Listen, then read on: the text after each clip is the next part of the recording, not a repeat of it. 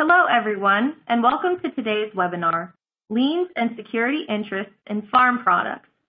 My name is Annie Triboletti, and I will be your moderator. Joining us today is Paul Hodnefield.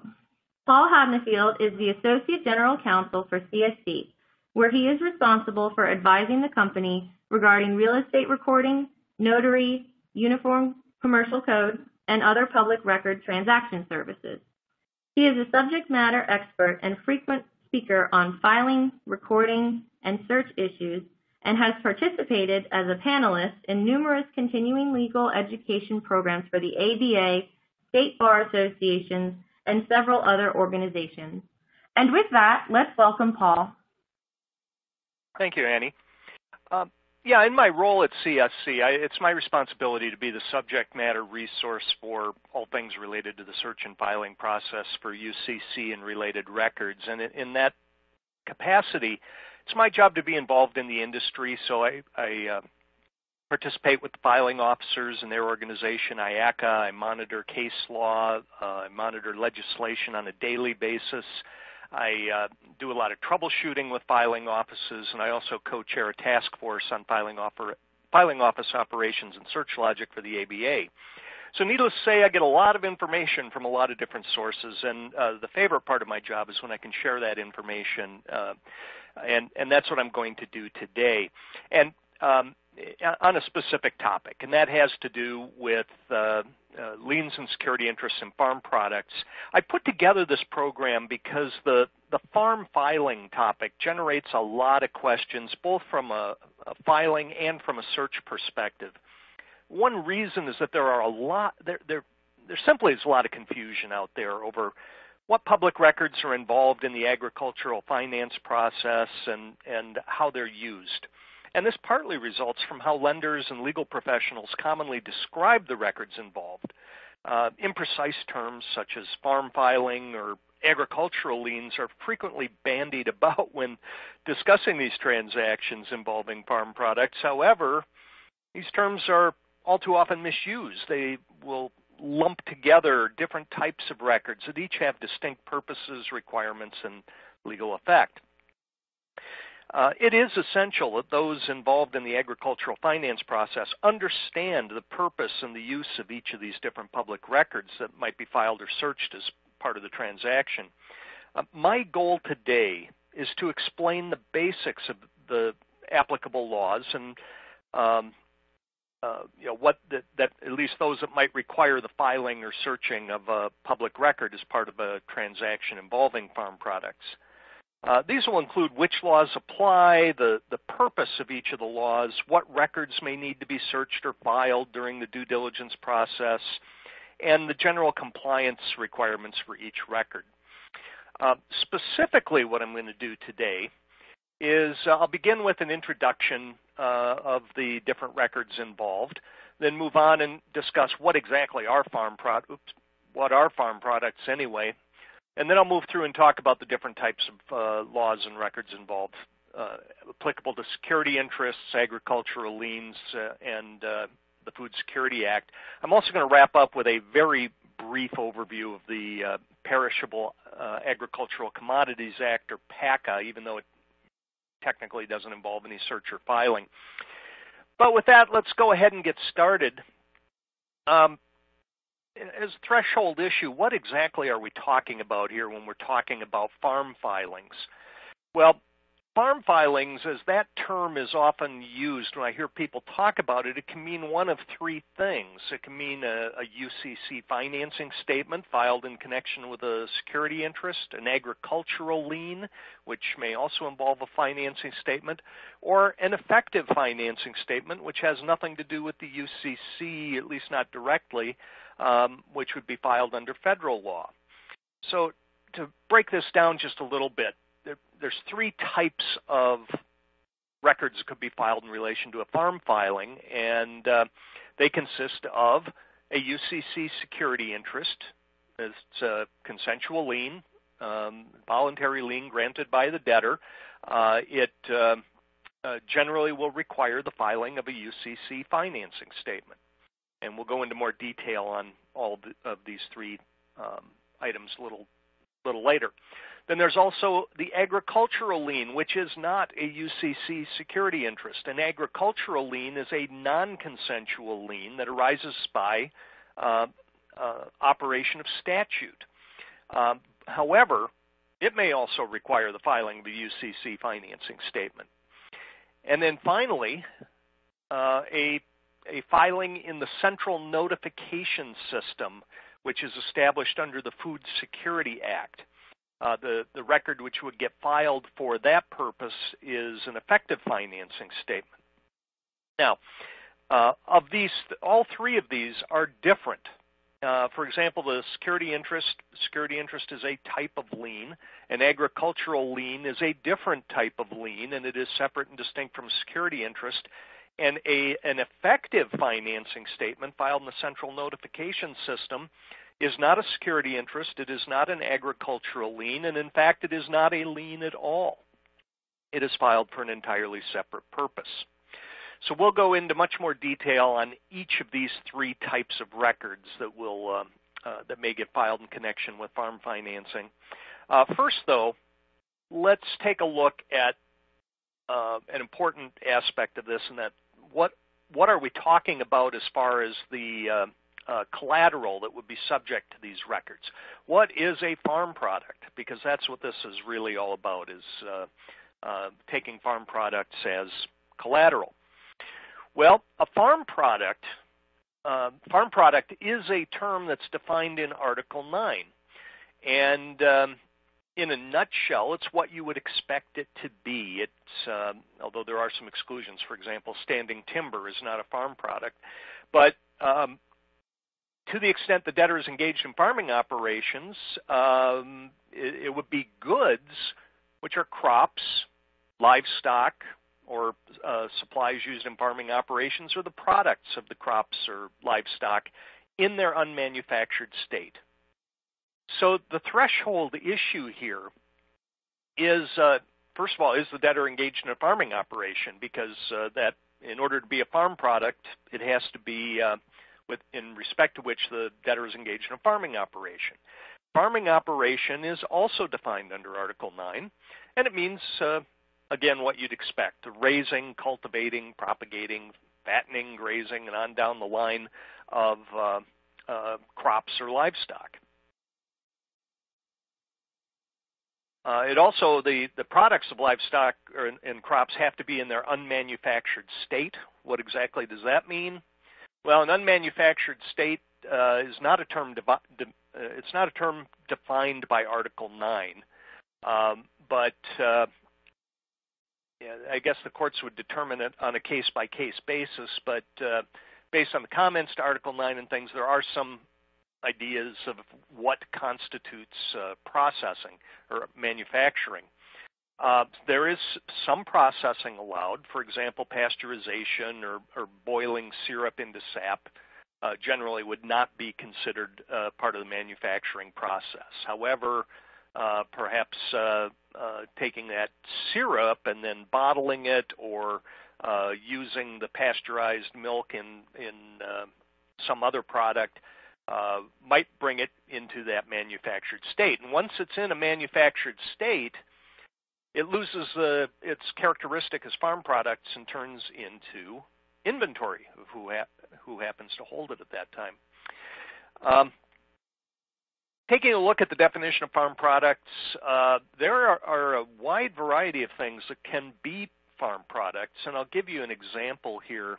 This comes out of uh, Louisiana. This is a list of farm products that Louisiana has uh, published uh, for use uh, under their Food Security Act, uh, but this is by no means an exhaustive list. And in the types of things that could be farm products uh, are the obvious things you would expect, things like cattle and chickens, soybeans, corn, and onions, that type of thing.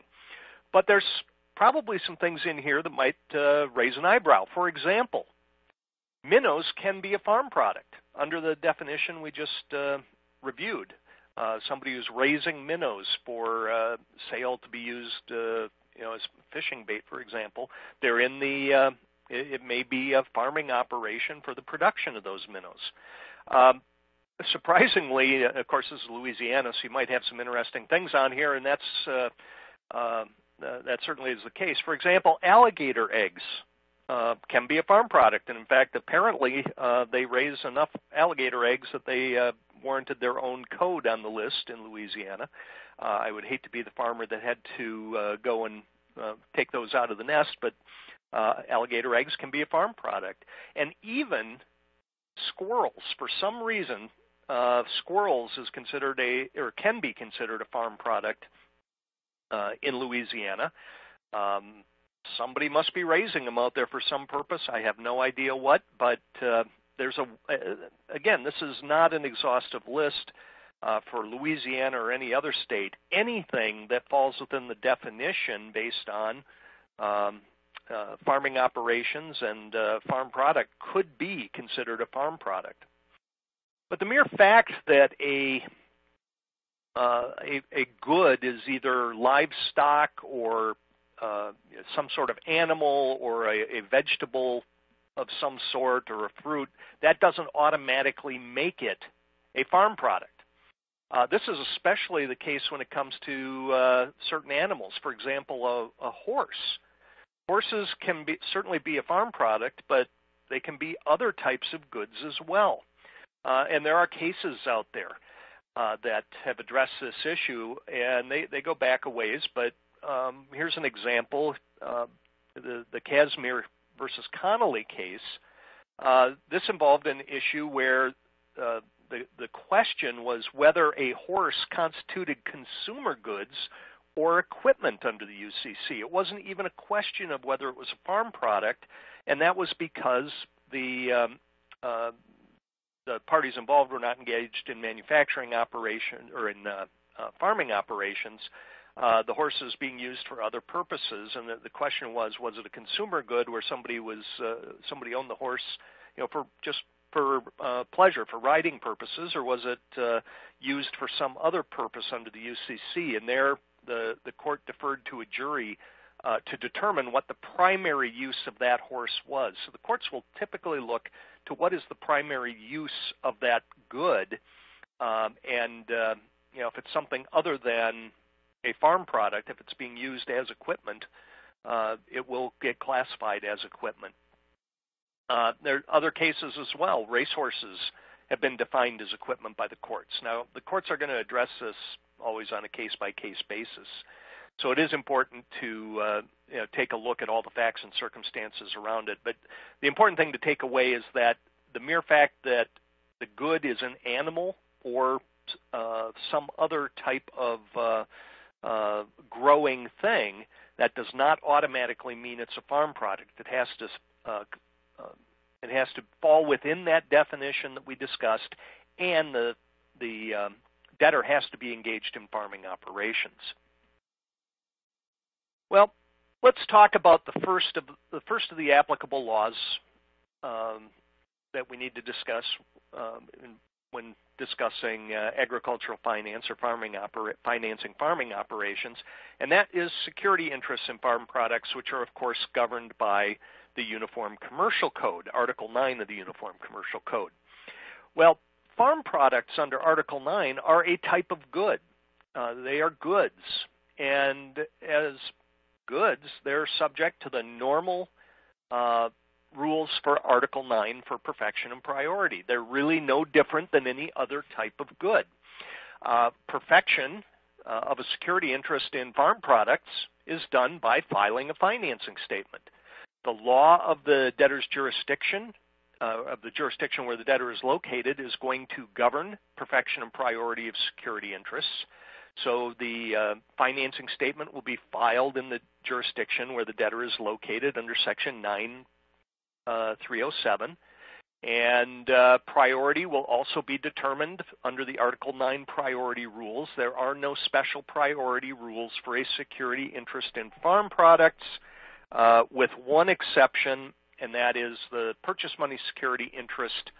Um, uh, there are special rules that apply to a purchase money security interest in livestock.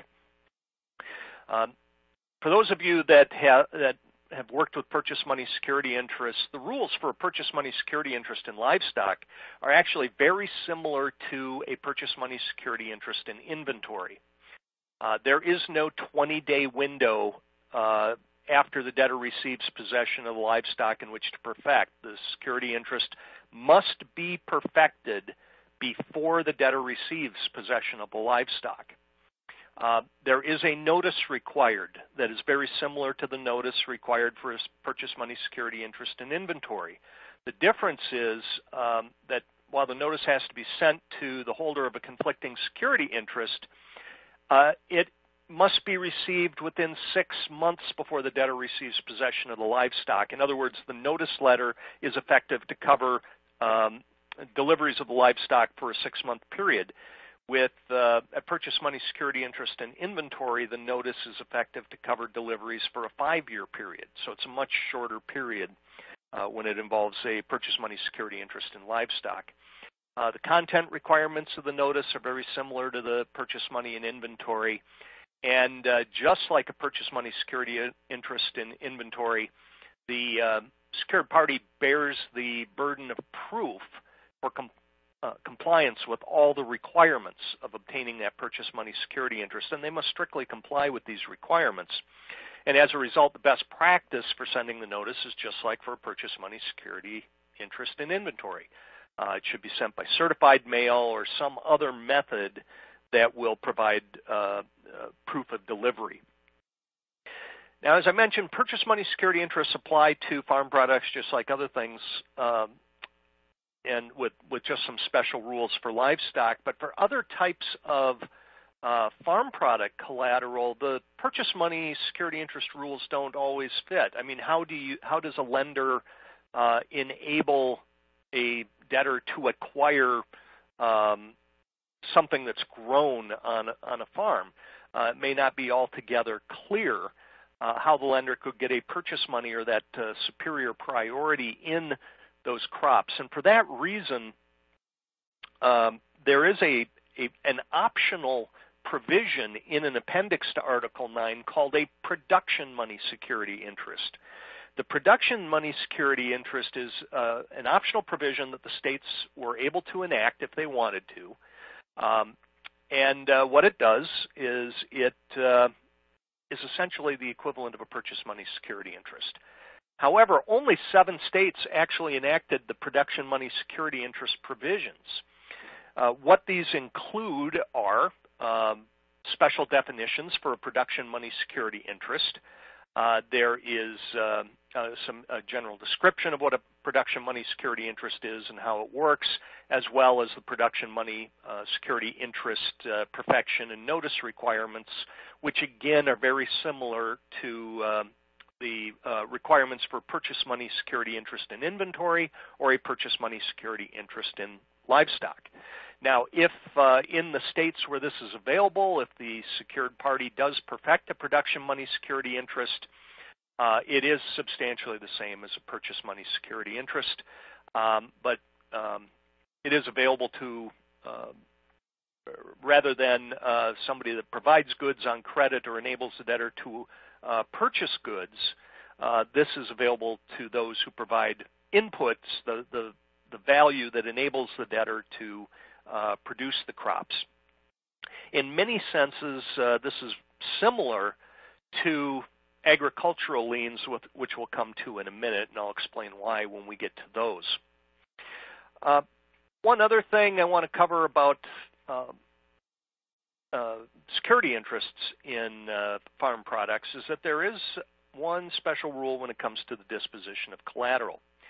Um, just like any other type of good, if the uh, debtor disposes of the collateral um, you know, without the secured party's authorization, um, it, the security interest will continue to follow that collateral.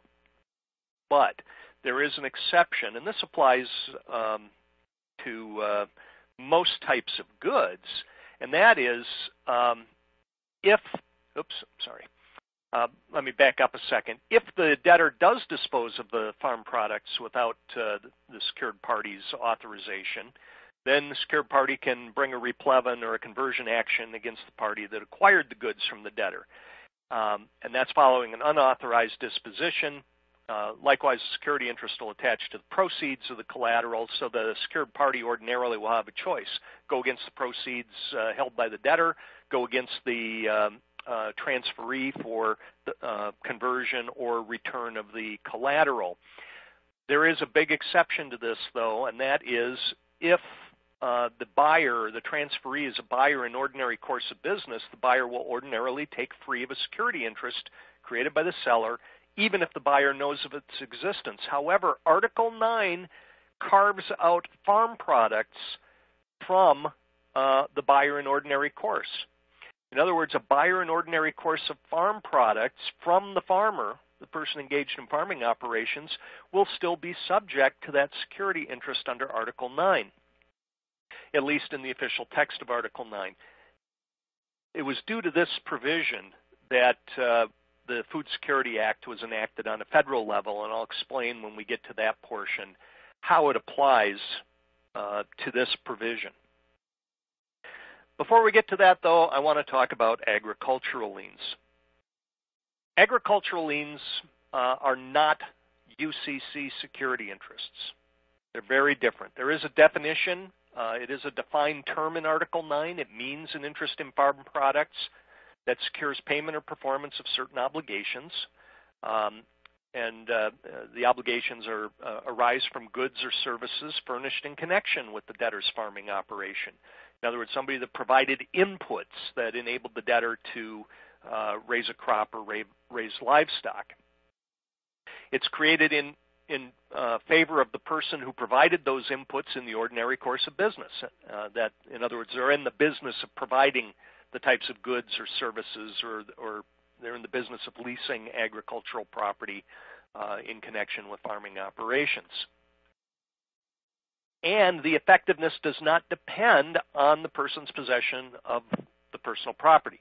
There are uh, agricultural liens out there that uh, uh, you know common law liens that uh, um, you know uh, possessory liens, common law possessory liens for people that might provide certain uh, services for uh, livestock, for example, but uh, they would not fall within the definition of agricultural lien unless um, you know, it wasn't dependent on possession for perfection.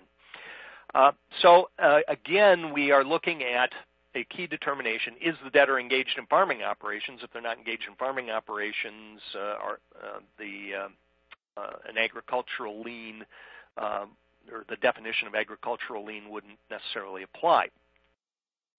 Uh, some examples of common agricultural liens out there, and I should point out that each state has its own focus of uh, agricultural lien laws, but there are some that are very common uh, a landlord's lien. This is where uh, typically where a farmer will rent out a portion of their land to another farmer uh, who raises the crops.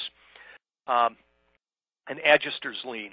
Oftentimes, uh, this will be a, a lien for um, you know tilling or uh, harvesting, that type of thing. Um, you know, the various other types of liens, liens for services of stallions and so forth, veterinarians, seed uh, seed providers, other agricultural inputs such as uh, uh, maybe fertilizer or um, uh, chemicals.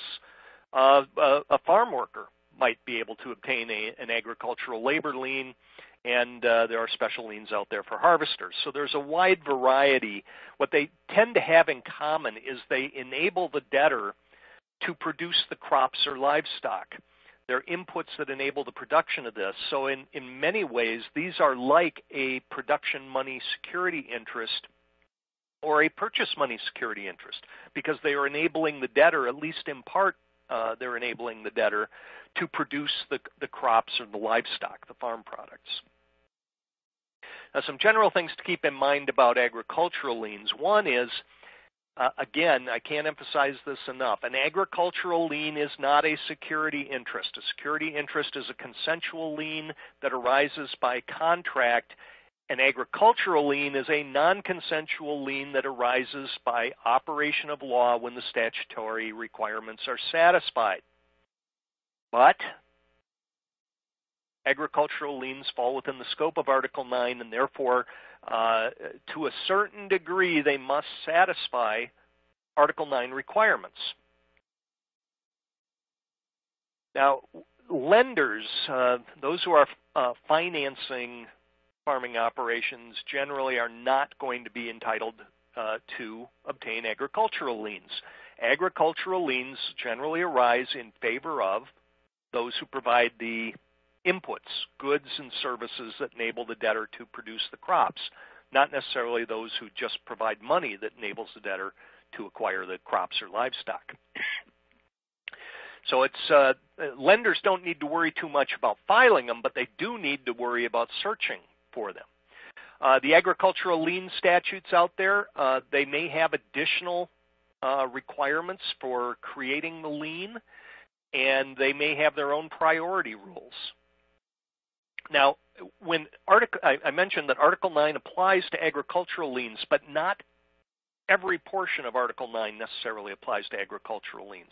Only the portions of Article 9 that specifically refer to agricultural liens apply to agricultural liens.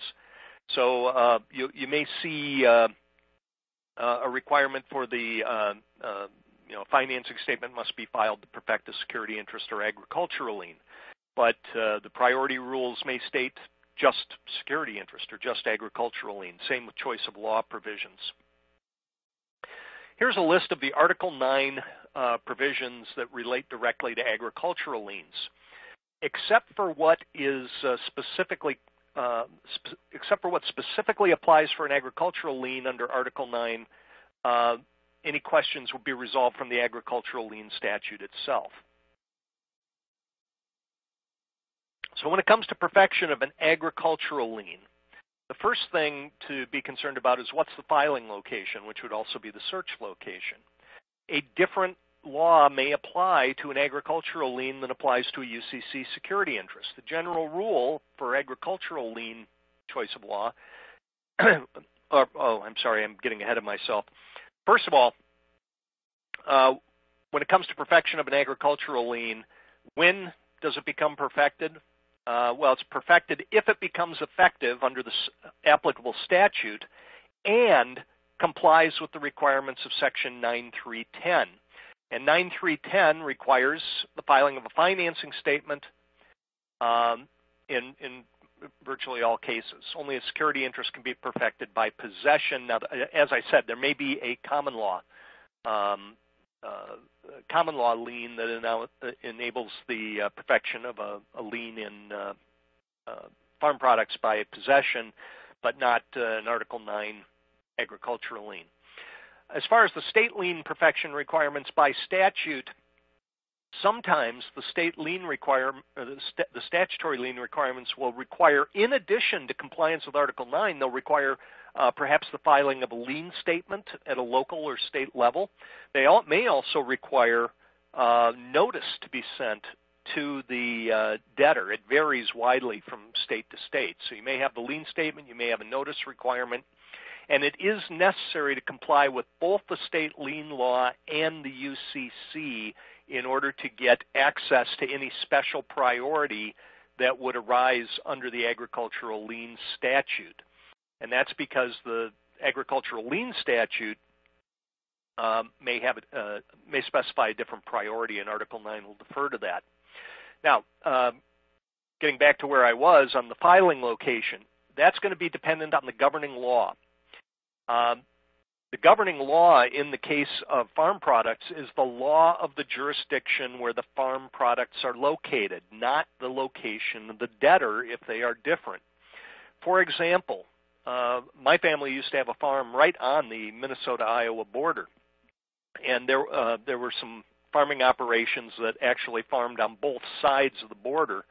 Um, it may be necessary, uh, for example, to uh, search or, and, and file uh, for agricultural liens both in the jurisdiction where the debtor is located, which may be uh, Iowa, and where farm products are located, which may be Minnesota, in order to pick up agricultural liens.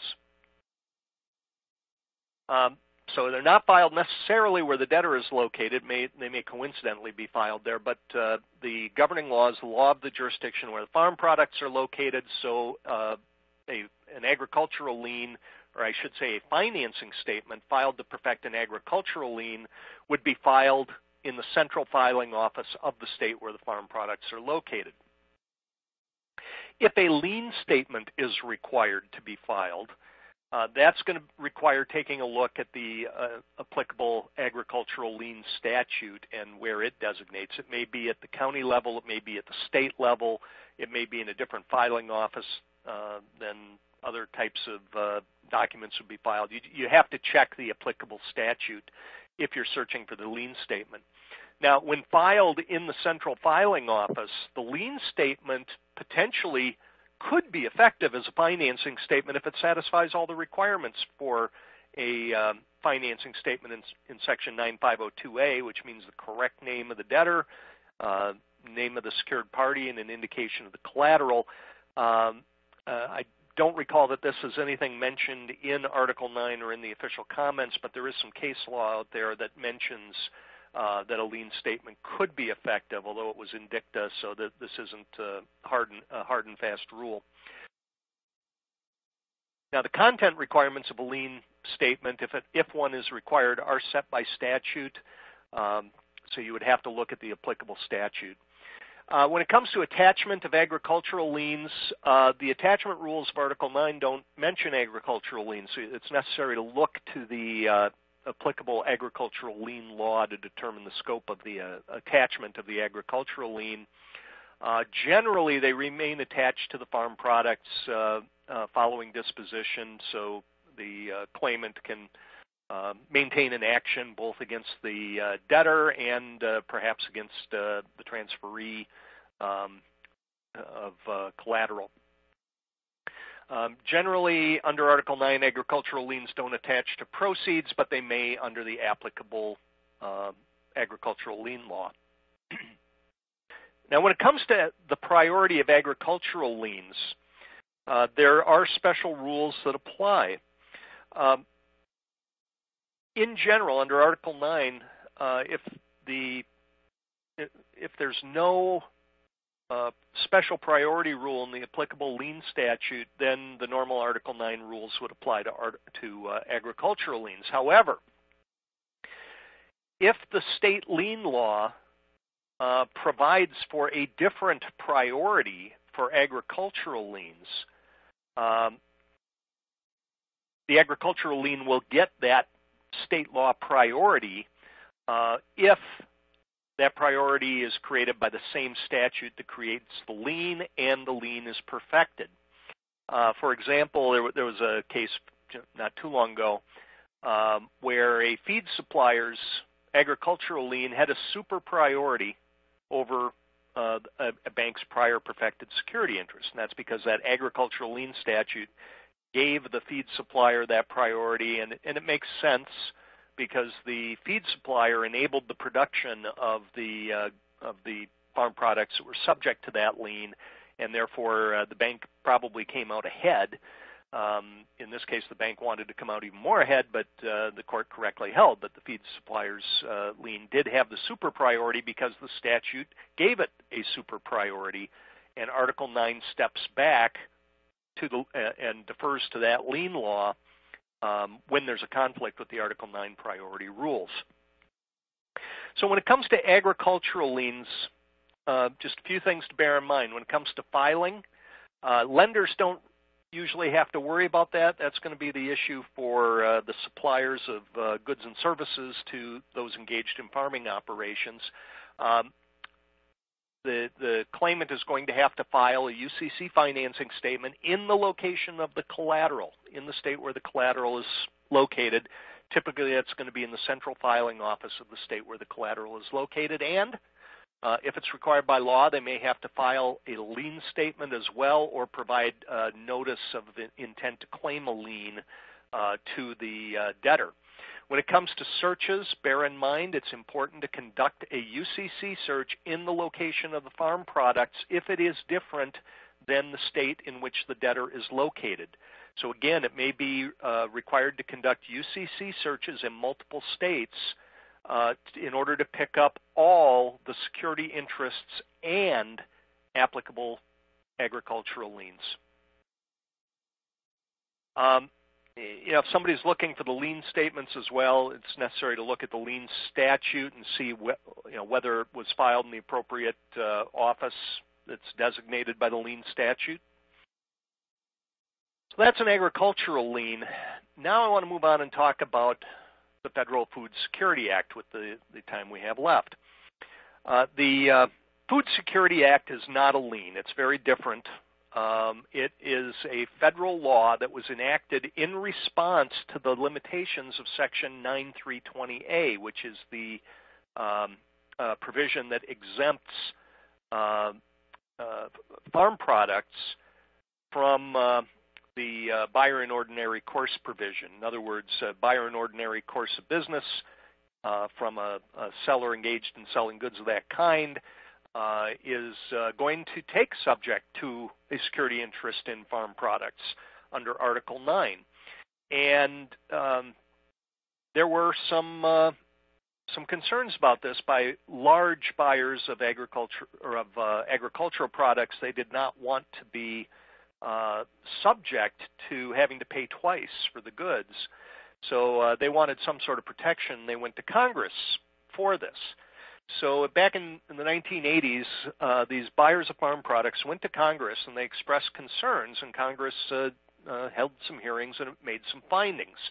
Specifically, the Article 9 carve out of the farm products from buyer and ordinary course protection um, you know, permits enforcement of liens against a uh, uh, buyer in ordinary course of farm products, and that this situation places those purchasers at risk for double payment and that leads to uh, um, preventing uh, free competition in the market for farm products. Therefore, Congress came up with the Food Security Act, which is codified at uh, uh 7 United States Code Section 1631. And the, what the purpose of this is, is to remove any obstructions to interstate commerce and farm products by uh, providing protection for buyers in ordinary course. The way it does this is uh, by preempting Article 9 with respect to the buyer in ordinary course of farm products. So it expressly pre- uh, preempts Article 9, uh, the Article 9 provisions to the contrary. Uh, that narrows it down to Section 9320A. So what it does is it, uh, the Food Security Act provides that a buyer of farm products in ordinary course of business from a seller engaged in farming operations is going to take free of the security interest created by the seller. This is no different than uh, if a company goes into an equipment dealer and buys a uh, tractor, uh, they're going to take that tractor free of a security interest created by the equipment dealer, even though the buyer may be aware that the inventory of that equipment dealer is subject to the security interest. Um, here, Congress went ahead and made that uh, that same rule applicable to buyers in ordinary course of farm products. However, there are some additional protections uh, for a secured party to a person uh, who uh, holds a security interest in those farm products.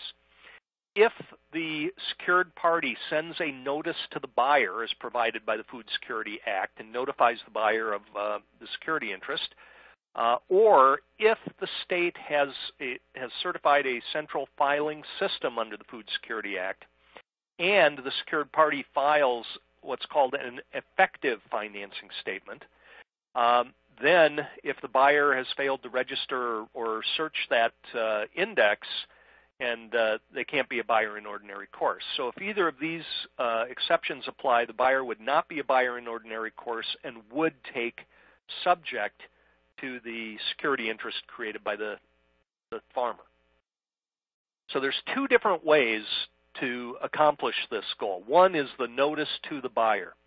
Now the Food Security Act provides that the secured party can send this notice to the buyer. It requ- uh, the, the Food Security Act requires the debtor, upon request of, a, of the lender, to furnish a list of the prospective buyers of farm products and then the uh, the secured party can then send the notice to all those prospective buyers.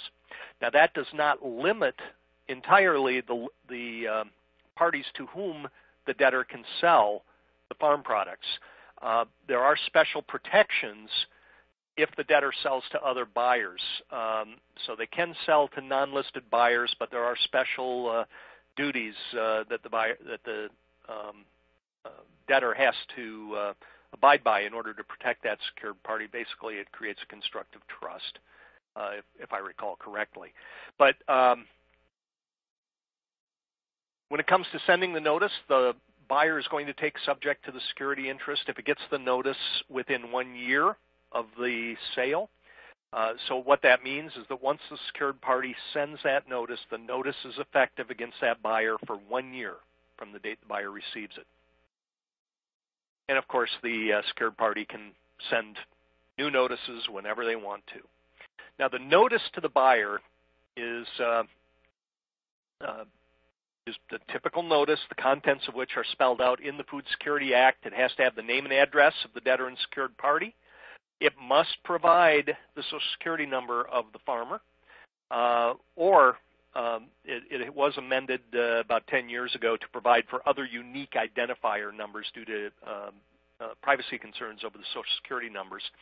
It has to describe the, the farm products that are subject to the security interest as well as the payment obligations of the buyer to uh, uh, um, release the security interest, and the secured party has to sign or otherwise authenticate that notice.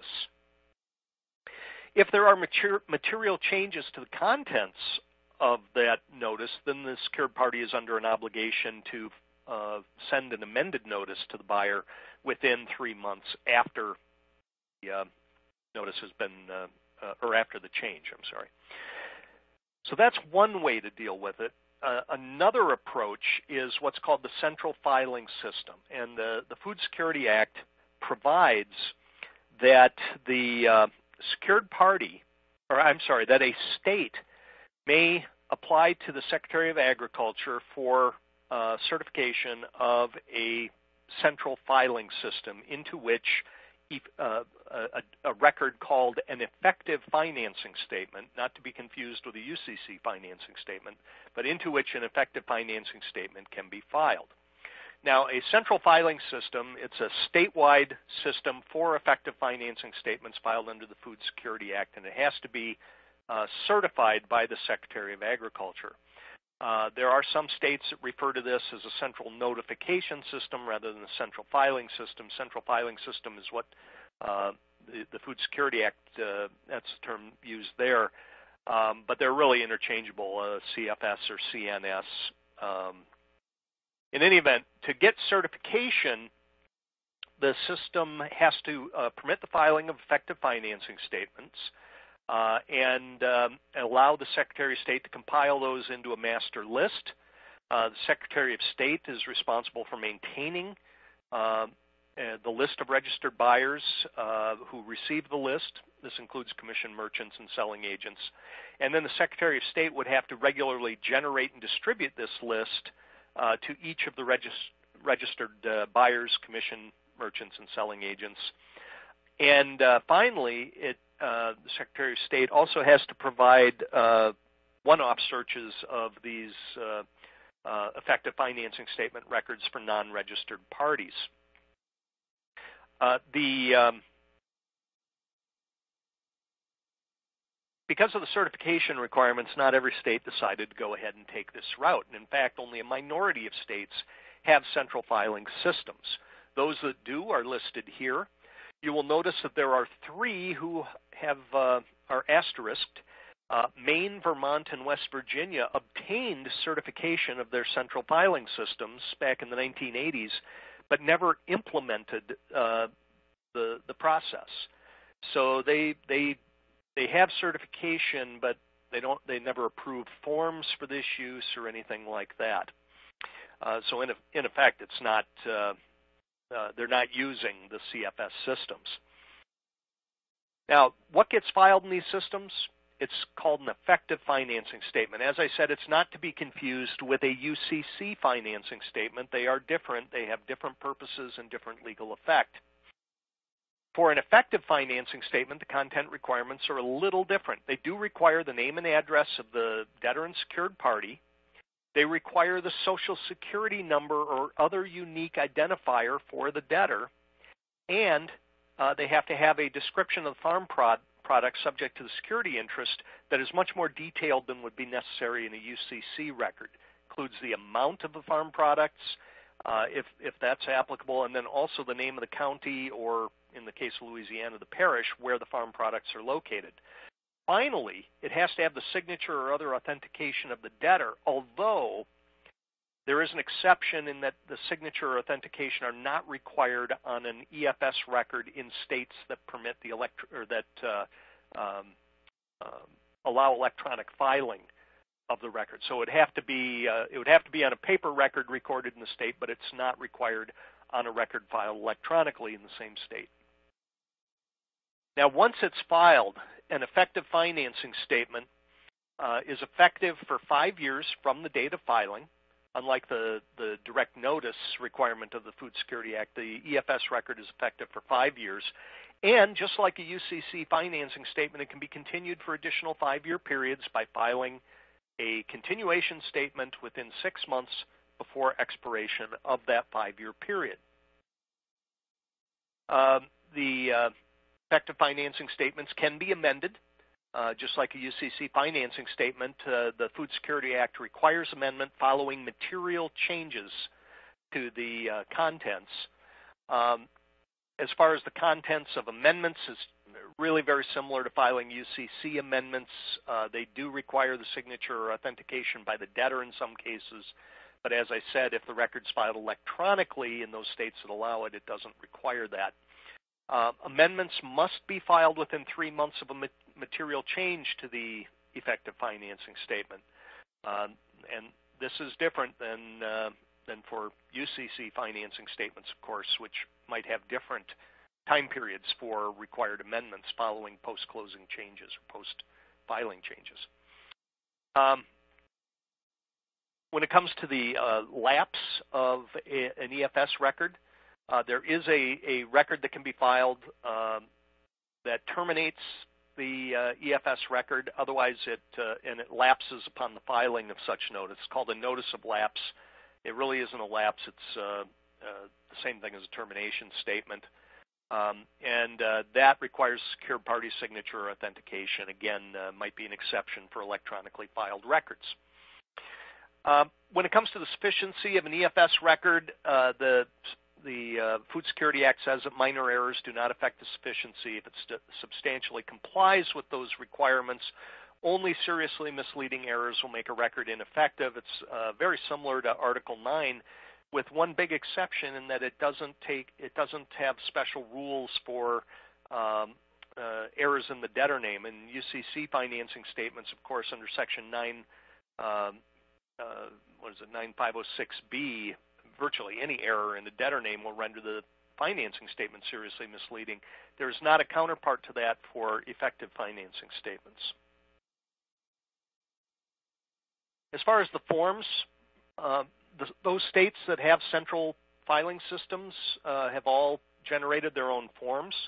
These can be a little confusing because many of them based them on the UCC statutory forms. They look just like a UCC record. Um, they might uh, they, they, might be uh, slightly different, but they, will look a lot like a UCC record. They may even be called a UCC 1F or something similar.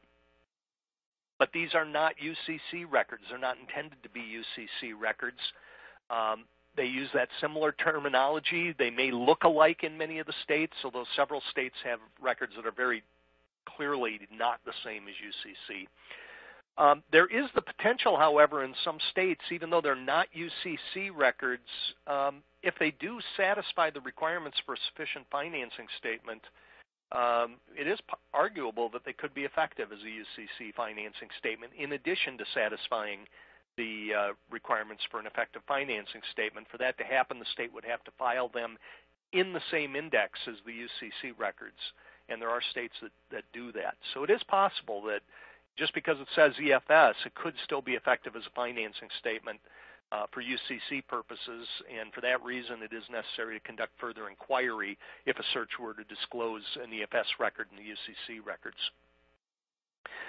Now, farm products lists, um, Secretary of State is responsible for organizing those lists and sending those out to subscribers, uh, them by the debtor's uh, Social Security or unique identifier. Um, the uh, Food Security Act now doesn't uh, allow the Secretary of State to encrypt that information to a certain degree, but it must still allow searches by that information.